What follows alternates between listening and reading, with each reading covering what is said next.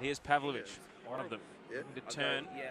10 metres from the top of the area. Great ball over the top. Picks out Pimonte, and it's knocked in. The goalkeeper got a hand on it, but couldn't keep it out. And Dean Pimonte scores in the 43rd minute. It's Oakleigh Cannons 1, South Springvale nil. I thought Miliaris had just enough of it to keep it out, but the ball dropped agonisingly into the bottom left corner. And Dean Pimonte scores the opening goal of this FFA Cup tie. Here comes the corner. Wide on the right.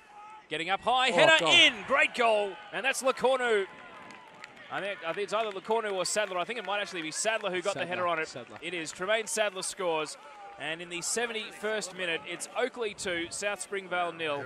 In a row, South Springvale trying to fight, trying to find a way back into the game. In it comes, and Brooks. Penalty, Penalty! penalty! Well, I reckon that's a bit of a make-up call here. Pavlovich is off. It's a second yellow card for Miriam Pavlovich.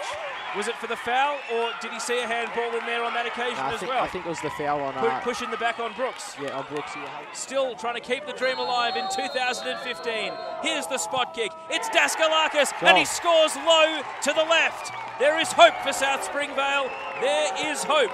And with six minutes plus stoppage time, it's Oakleigh Cannons 2, South Springvale 1. Yeah, great composure there by Konstantinos Daskalakis to keep his cool. There was a bit of a wait there before he could take the penalty, and he just.